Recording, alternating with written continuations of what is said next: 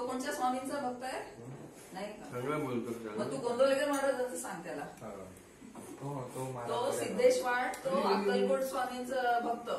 म्हणजे अगदी